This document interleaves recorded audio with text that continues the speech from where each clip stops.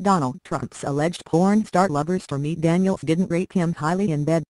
Porn star Stormy Daniels, who claims she allegedly had an affair with Donald Trump for a year from 2006 to 2007, reportedly didn't give him a very good review as a lover.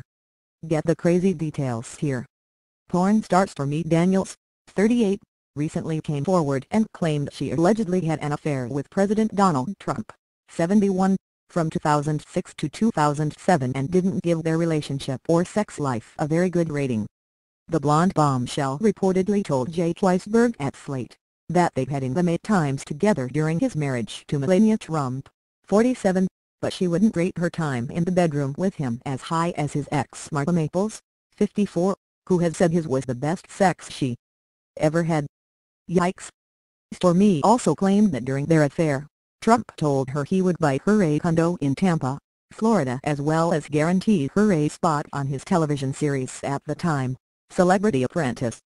The shocking interviews took place between August and October 2016 and Stormy said the only reason she didn't say anything about it sooner was because Trump paid her $130,000 to be quiet about their relations. See pics of Stormy here. Although Stormy's claims about Trump seem to want to rock the boat in his personal and professional life, she doesn't see herself as a victim and claims it was all consensual. She didn't allege any kind of abuse, insisting she was not the victim, Weisberg recently wrote in Slate about his conversations with Stormy. The worst Trump had done, she said, was break promises she'd never believed he would fulfill. The adult film actress kept the most private things about Trump such as things only someone who had seen him naked would know to herself. In addition to Stormy's sexual claims about Trump, another porn star named Alana Evans has made her own claims about the leader of the free world. Alana agreed that Stormy and Trump had a relationship going and revealed that they allegedly tried to have a threesome with her in July 2006.